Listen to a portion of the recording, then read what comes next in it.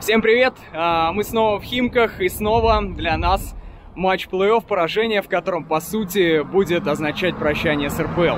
Шансов в случае поражения останется крайне мало. Мы в этом сезоне уже шестой матч а, будем играть на этом стадионе, и все пять предыдущих раз мы, к сожалению, проиграли. Сегодня надо эту тенденцию прекращать. Сегодня три очка нужны просто как никогда. Они всегда нужны, но сегодня жизненно необходимы. Вперед, торпеда! Сэм, Ау. ну как? Настроение перед матчем, Настроение в котором ты не примешь участие. Хорошее? Да. Должны победить. О, это где ты такую Видишь, взял? это мне подарили. Подарили? Да. Фанатская, да, тема, по-моему? Да.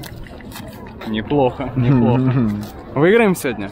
Должны выиграть по-любому. Сегодня вообще вариантов нет, Нет других. вариантов других. Только Потом победа. редактируешь? Ну, конечно. Слава богу. Вы победите без Самсонова. Редактировать и не надо.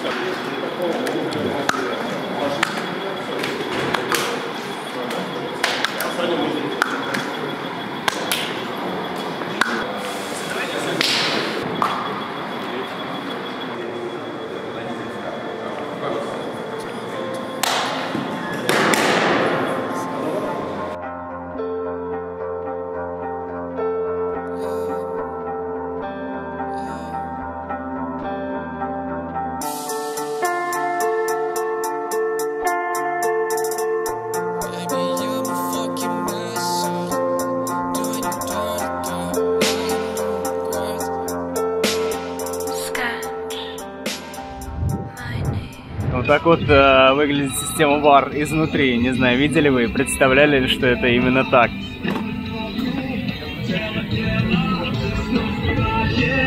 У этого матча есть дополнительная интрига. Главный тренер Химок Андрей Талалаев и весь его тренерский штаб еще меньше месяца назад работали в торпедо. Сегодня они уже против нас. Талалаев э, в своем последнем матче с крыльями получил красную карточку, ее отменили, поэтому сегодня он будет на скамейке со своей командой, а вот нашего тренера Жозепа Клотета на скамейке не будет, он получил два матча дисквалификации. И еще один э, интересный момент для Талалаева, этот матч будет первым домашним в качестве главного тренера Химок в этом сезоне.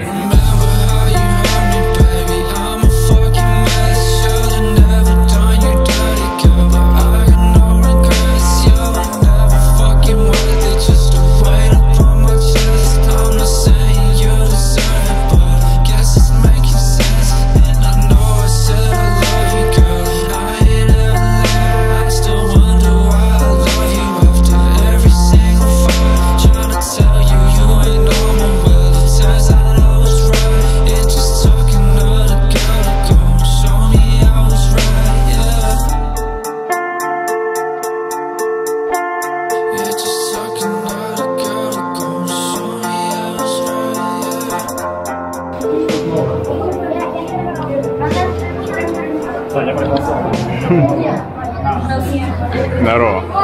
Кто выиграет сегодня? Неправильный ответ. Кто выиграет сегодня? Правильный ответ. Красавчик.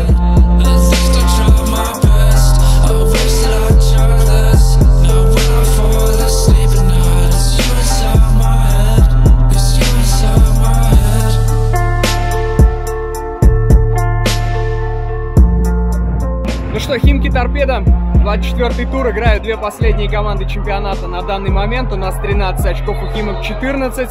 Факел, который занимает последнее место из тех, что позволяет сыграть в стыках к этой минуте, к минуте начала нашего матча имеет 18 баллов. Чуть позже Факел сыграет дома с Оренбургом Апаренен, у которого 19 очков. На следующий день, то есть в воскресенье, дома сыграет с Крыльями.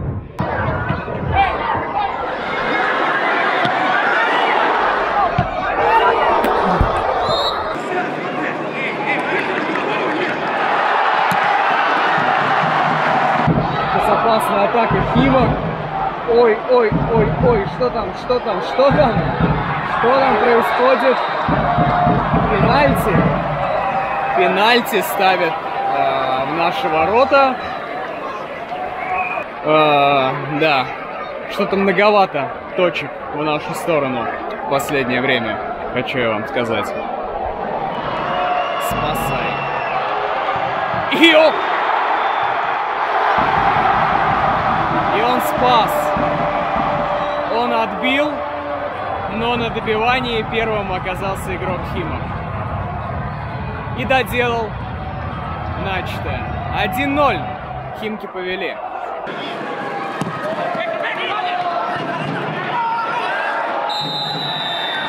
И теперь пенальти в ворота Химок. Теперь Левников ставит пенальти в противоположные ворота от того, который он поставил первый.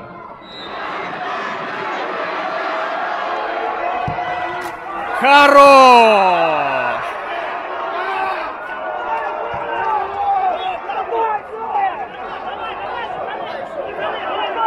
Первый гол Андрей Филипп из торпеда.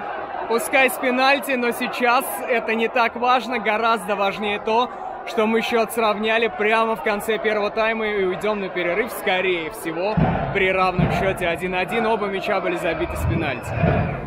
Бертолада, помощник Жозепа Клотета, получает в перерыве указания от главного по телефону.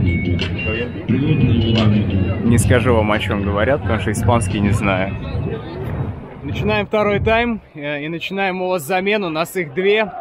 Илья Стефанович выходит на поле, человек, который уже два мяча в РПЛ забил после прихода в торпедо всего за несколько матчей. И Боян Роганович. Э, Стефанович, судя по всему, вместо Филиппы, а нет, вместо Кухарчука вышел Стефанович, а Роганович вместо Шлякова, как я могу отсюда видеть.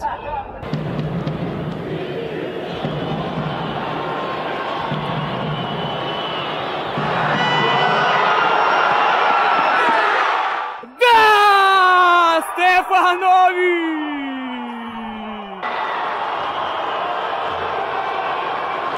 Илья Стефанович делает счет 2-1. Второй гол подряд во втором матче забивает.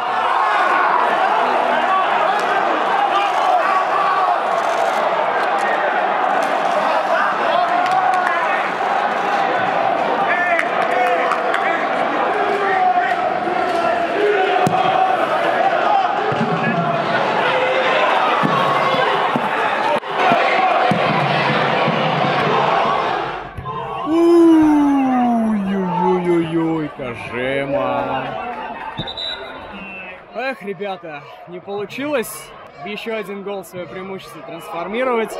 Снова, снова пенальти в наши ворота. Кутепов нарушил, получил за это желтую. И пятый раз за последние два матча нам бьют с точки.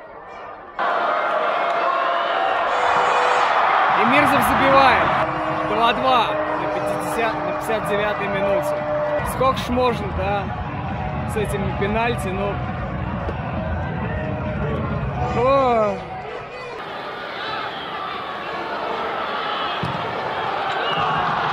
Пропускаем третий.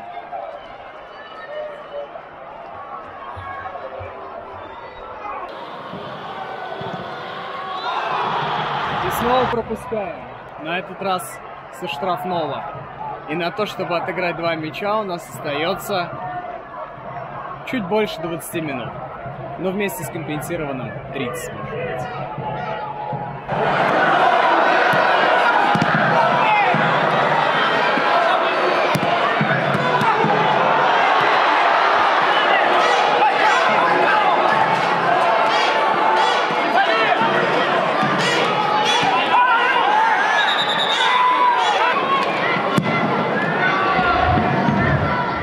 Все, мы проигрываем Химкам со счетом 4-2.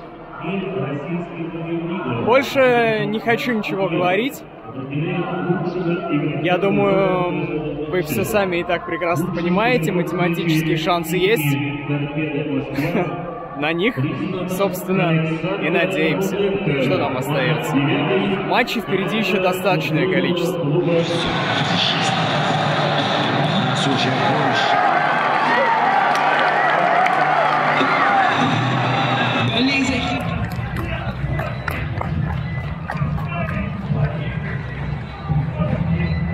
Спасибо, мужики!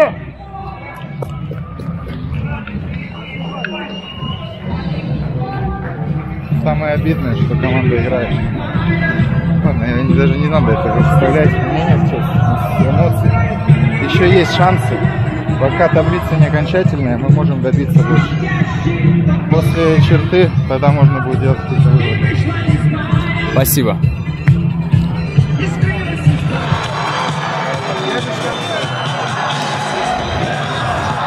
Человек, который забивает голы, еще никогда не отказывается поговорить. Даже после самых тяжелых поражений, Илюх, на твой взгляд, что не получилось? И почему так? Ну, мы правильно, наверное, что из хорошего, мы правильно отреагировали на пропущенный гол. Мы бежали забивать, а, забили, причем перед э, перерывом, что очень важно. То есть э, на второй тайм мы, в принципе, выходили в равных, скажем, обс- обстоятельствах. Вот. Ну, как-то вот эти стартовые 10, может быть, да, по-моему, 10 минут мы активно начали, забили гол и действовали агрессивно. В принципе, мы помимо этого забитого мяча могли еще отличиться. Вот. Ну, потом, что произошло, ну, я не знаю, по горячим следам не хотелось бы сейчас разбирать. Это дело тренерского штаба. Мгм. Мы это все разберем. В раздевалке. Но Как было сейчас? да, на опустошение. Эмоций вообще нет никаких. Потому что за сколько? За 8 минут проиграть игру так.